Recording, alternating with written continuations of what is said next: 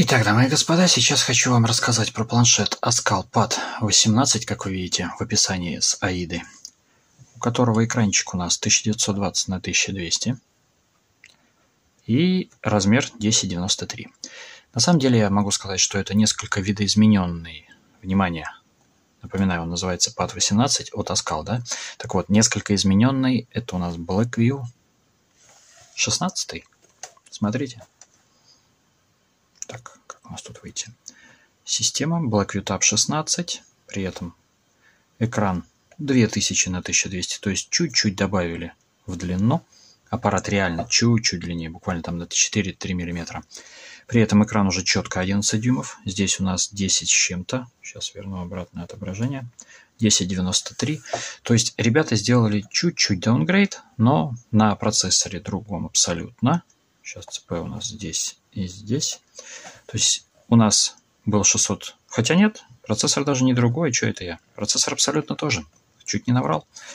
Обратите внимание, да, но при этом этот аппарат маркируется как Ascal, соответственно, он будет дешевле в продаже. Напоминаю, Ascal – это суббренд, который рожден ради того, чтобы пустить устройство от этой компании в массы. То есть этот аппарат будет дешевле. Давайте посмотрим, что у него с датчиками. Сравним с... Э, где у нас датчики? Вот. Ну, пока я вижу все то же самое.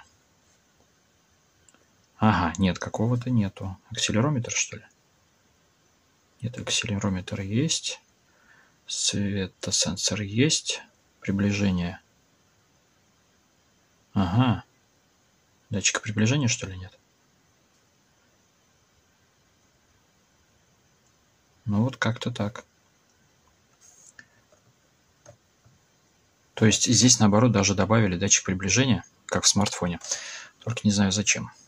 Точнее, не, не как это добавили. Он был, а здесь его, наоборот, изъяли, потому что непонятно, зачем он. Короче, Blackview убираю. А теперь ради прикола, чтобы вас вообще запутать, да? Это 18 Сейчас возвращаемся обратно. Под 18. Это 16 но по начинке практически полный клон. А вот 18 от Blackview. У него экран уже 12 дюймов. Но это так, лирическое отступление, его даже и включать не буду. Короче, возвращаемся к данному аппарату, и сейчас мы будем его изучать. Во-первых, про процессор мы уже сказали. Процессор у нас здесь Unisoc. Если быть точным, 616 с частотами до 1950. Или 500, 950 а и не важно. 12 нанометров техпроцесс – это неплохо, но и нехорошо. Сейчас уже техпроцессы OMTK дошли до 6, то есть, соответственно, э, юнисоки еще пока далековато до них ползут. Но этот процессор не особо-то и хуже, раз. Этот процессор намного дешевле, два. Его делают китайцы чисто сами вообще без участия каких-либо других стран, поэтому он точно никогда никуда от них не пропадет, и на унисоках они могут делать их вечно. Температура батарейки при использовании до 30-35, выше я не видел. Сейчас он простой, поэтому холодненький. Камера 13 спереди и 13 сзади, но я могу сказать одно, что передняя для 13 слабовато, слышь, уйди. Сейчас я вам это покажу. Она допиливается только с помощью арксофта. То есть, если я буду играть со светом, на короткое время будет видно вокруг меня признаки цифровой обработки. Сейчас попробую сделать, чтобы вы это лучше видели. Сейчас на лицо. И буду играть со светом. То есть, если бы не ArcSoft, камера снимала бы совсем погано. И как они ее дотянули до 13 мегапикселей, ну, видимо, спасибо ArcSoft и его наворотам. Если же перевернуть на основную камеру, то вот тут уже проблем нет. Она уже снимает хорошо для 13 мегапикселей, но, опять же, с поправочкой, что это планшет тоненький и большого места для хорошей оптики у него явно не нашлось. Но снимает при этом видео в Full HD. Основная камера, вот Full HD, больше, к сожалению, нету, но Full HD есть. Если же мы перевернемся на фронталку, то мы снимаем максимум HD что и ожидаемо. Хотя заявлено, что обе камеры 13 мегапикселей. Но вот как-то не вяжется у меня это дело. Ладно, вылезаем. Далее, по экрану. Экран сделали очень сочный, яркий, красочный.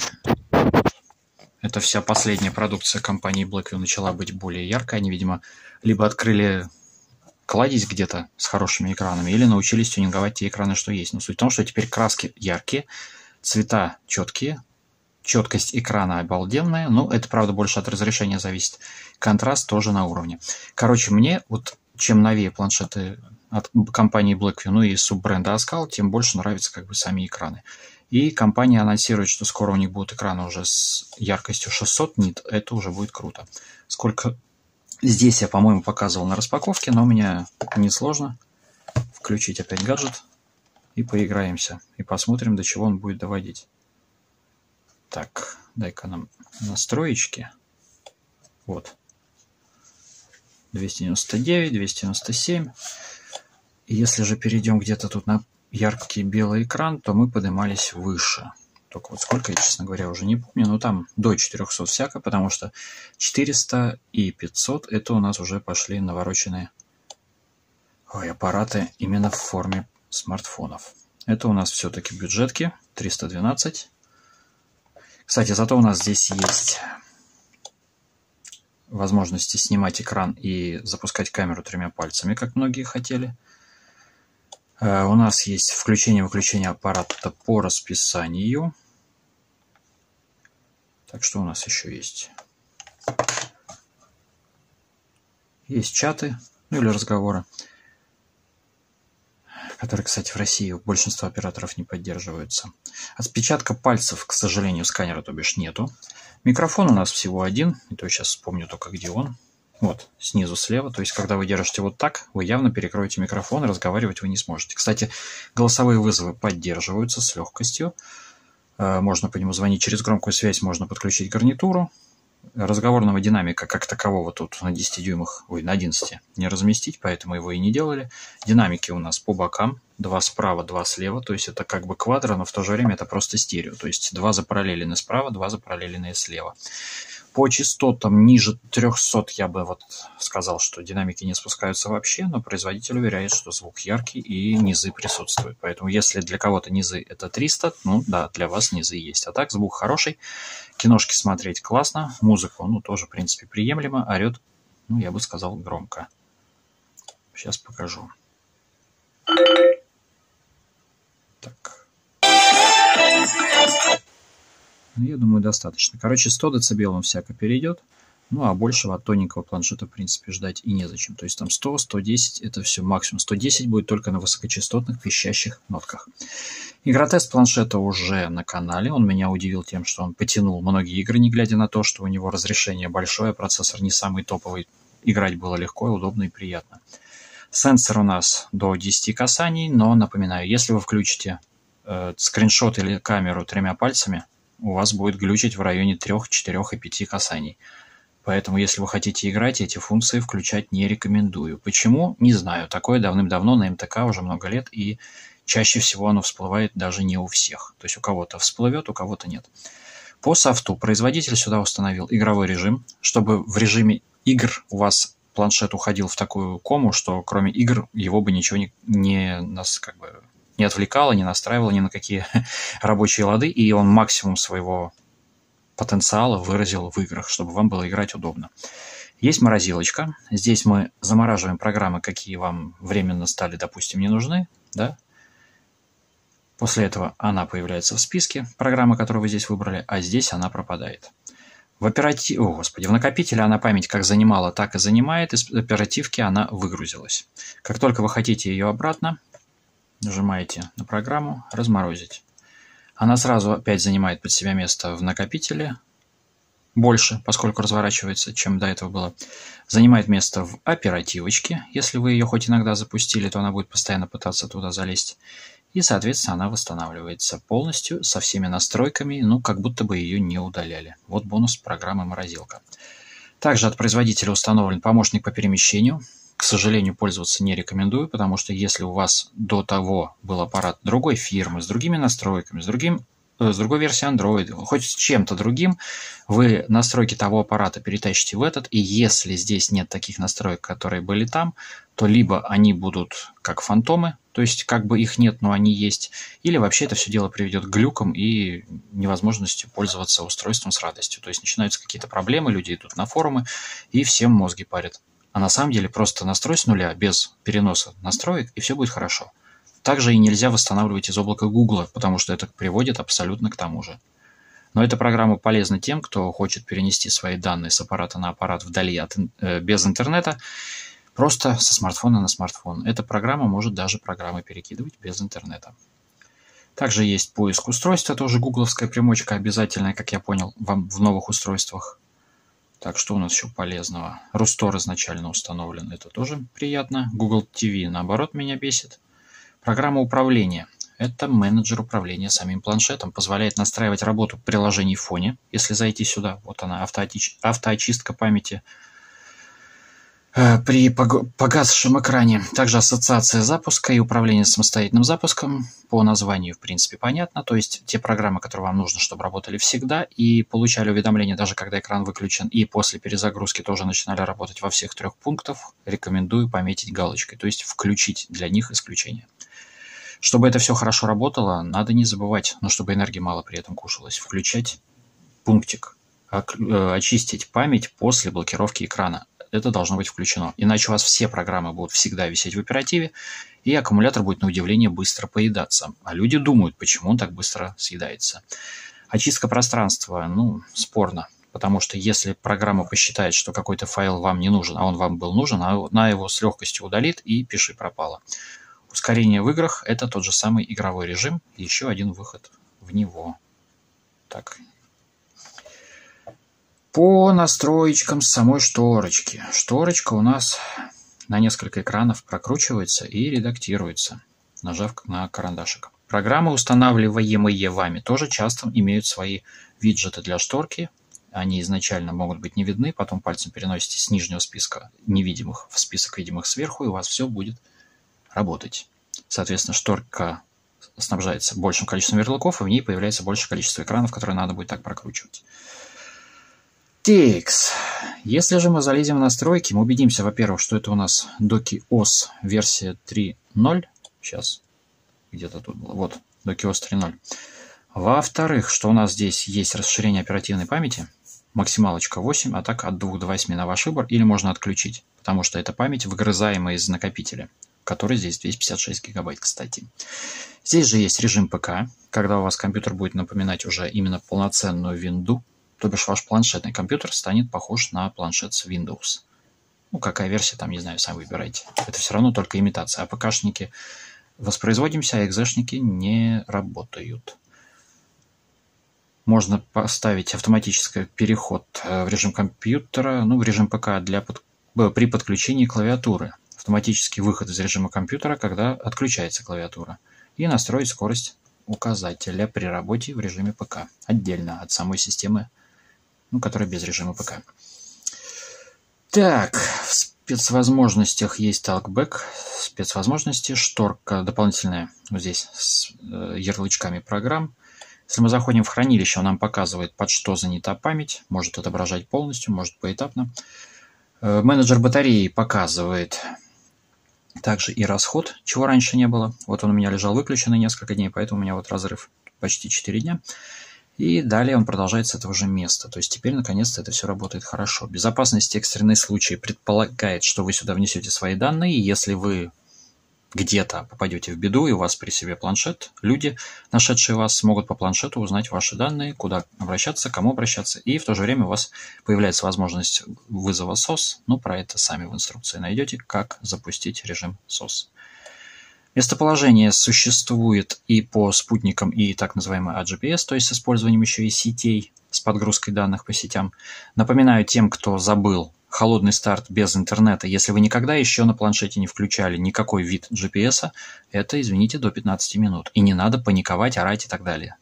Если вы аппарат хотя бы в течение недели, ну то есть ранее на неделю и менее, включали в режим GPS, он у вас уже соединялся со спутниками, то подключение будет 1-3 минуты без интернета. Если вы это делаете в течение 1-2 дней, подключение будет в секундах. Не нужно это забывать, потому что мы движемся, спутники движутся и так далее.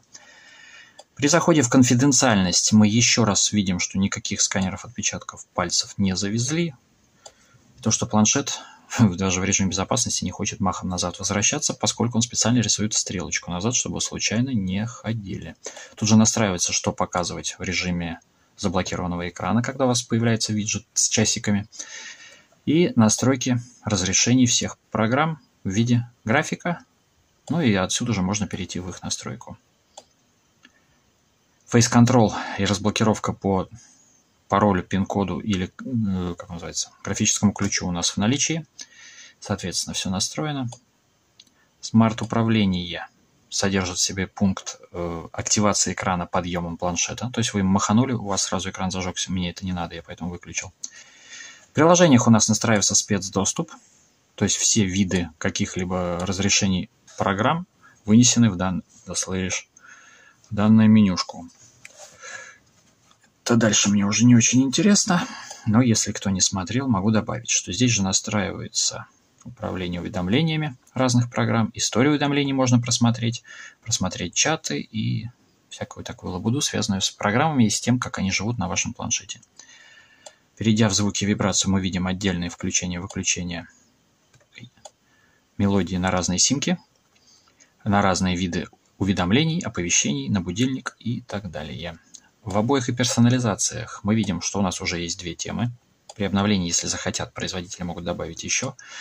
Видим штатный набор обоев, не очень-то и много, но можно сделать так же, чтобы с обоями и значки менялись, если ползуночком поиграться. Так, мы видим персонализацию со стилем иконок. У нас есть два пакета иконок. И, соответственно, больше только если да, грузит производитель или если вы поменяете лаунчер на тот, который тоже имеет собственные встроенные темы, значки и тому подобное. Размер шрифта имеет три варианта. Так, опять, что ж такое? Кто ж так запрограммировал-то? Масштаб изображения на экране тоже три варианта. Не путайте, это разные пункты. В работе, когда потом начнете тыкать, поймете, там глобально все отличается и сильно меняется. Темная тема имеет три вариации. Сильное, среднее и слабенькое затемнение – так, выключаем. Но поскольку экран у нас не AMOLED, то я не вижу смысла, честно говоря, в темной теме. Ну ладно. Режим защиты зрения по времени по расписанию или на весь день. То есть экран станет такой желтоватенький, немножечко более приятный глазам, потому что удаляется синий, ну и так называемая сертификация потуй что-то там. Короче, аппарат становится безопасен для вашего зрения по мнению какой-то организации, контролирующей создателей экранов. Так, у нас в наличии возможность трансляции, печати на беспроводные принтеры. Точки доступа Wi-Fi создавать мы можем. VPN уже изначально в настройки внесен. Осталось только настроить, на какой из серверов он будет обращаться. Есть режим полета с выключением всех беспроводных модулей разом. Есть USB модем, если подключаете по проводу к источнику интернета. Есть Bluetooth модем. Соответственно, то же самое через Bluetooth. Кстати, стоп, не источнику, а к потребителю. То есть мы передаем интернет раз модем. Это я перепутал. Хотя источник он тоже может брать. У меня есть специальный модуль, который включается сюда в порт Type-C. Кстати, у нас порт для зарядки именно Type-C. И подключаем уже к модулю LAN, и интернет уже подается именно на планшет, не через симку, не через Wi-Fi. Вот он, кстати, даже. Обоз... Слышь, я не тебя. Вот, обозначен. Также настройки частного DNS-сервера есть, ни разу в жизни не пользовался. И Подключение к хромбуку тоже настраивается. Извините, хромбука нет, проверить не могу. Обмен с окружением – это классика, есть во всех андроидах. В сим-картах, если бы они были, мы могли бы настраивать и цвета, и набор номера по умолчанию, интернет по умолчанию и смс по умолчанию. Android Auto для автолюбителей. У меня это не работает, потому что мне это не надо, но пока не отключил, чтобы вам показать. Далее настройки Bluetooth. Включать-выключать, как себя видеть, переименовать устройство. И настройки Wi-Fi. То же самое. Можно создать собственную сетку, можно подключиться к невидимой сетке, можно подключиться к той сетке, которую видите, если они запарольны, соответственно, вводя пароль, если не запарольны, не вводя. И подтверждение, что у нас здесь поддерживается Wi-Fi 5 ГГц, у меня подключено к Сергуньке 5. 5 в названии обозначает именно 5 ГГц. Есть автоматическое переключение между проводным и беспроводным интернетами. Включать Wi-Fi автоматически, попадая в зону действия сети. Но это тогда он постоянно будет кушать энергию на то, чтобы искать Wi-Fi. Также сообщать о наличии общедоступных сетей, это то же самое. То есть тоже будет постоянно включен Wi-Fi. MAC-адрес меняется, если нужно, при подключении. Но, в общем, по настройкам мы пробежались. С настройками у нас все. Обращу внимание, что датчик поворота у нас есть. не глядя на то, что гироскопа у нас нет.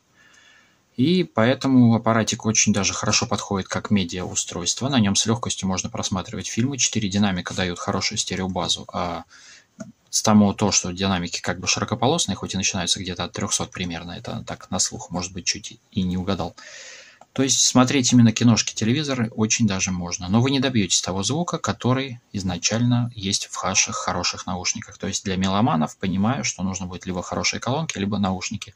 Но поверьте, киношку и сериальчик посмотреть можно на таких наушниках, очень даже круто. 11 дюймов это более чем 10, поэтому многим этот планшет понравится больше, чем стандартные вовсю везде продающиеся десяточки. Также добавлю, что у нас э, сверху, прям в бампере, прорези для нормального нажатия на кнопки питания и громкости. С левой стороны у нас, напоминаю еще раз, только два динамика и все. С правой стороны у нас два динамика и порт Type-C. Снизу у нас микрофон, а где-то еще спрятался у нас, кстати. А, нифига, справа еще и лоток под сим-карты и карту памяти.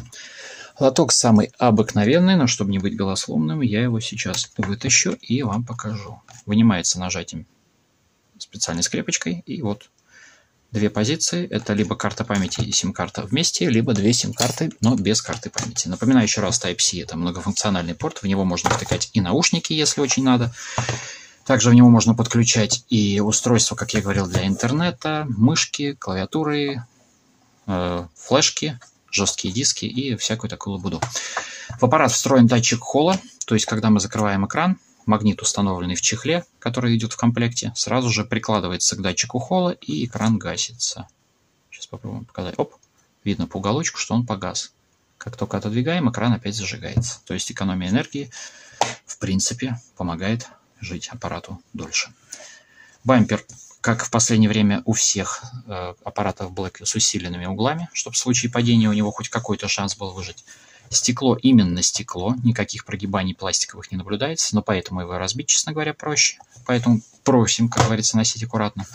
У чехла есть режим подставки за счет встроенных магнитов. Опять же, вот он приклеивается раз, потом вы его складываете, и можно использовать вот в таком режиме, а можно вот в таком. То есть два варианта подставки у нас уже в комплекте со встроенным чехольчиком. Короче, на мой взгляд, аппарат очень хороший, но за исключением того, что у нас это не MTK, и в случае, если вы захотите поиграться, такой процессор при прошивке гробится проще, если вы случайно что-то вшили не то. МТК, если даже вы зашили абсолютно неподходящую прошивку, потом можно прошить на правильную. Там существует много уловок, а можно ли это делать с юнисоками, я, честно говоря, не знаю. Тем более Tiger 16, 100, ой, господи, 616 не такой уж и старенький, относительно новый, значит не факт, что вообще на него какие-то хитрости существуют. А так, сайт 4PDA, там множество тем про данные аппараты. Если у вас что-то поплохело, пишем продавцу, а если вы хотите что-то нахимичить, идем на 4PDA. Всем спасибо, всем пока, я думаю, достаточно рассказал. Аппарат заслуживает внимания. Всем чао. Ссылки в описании и информация дополнительная там же. Пока.